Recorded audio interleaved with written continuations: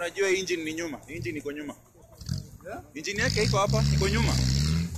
Hii engine yake iko nyuma. Wewe ndo angalia engine iko nyuma, iko mbele. Ndio kwa maana wame survive. Hii gari engine iko nyuma, iko mbele. Ndio kwa maana wako hai. Juu gari ya kawaida Na ni Engine- engine ingeingia. watu wawili. watu wawili haina kiti ya nyuma. Sina nani bwana? Mm.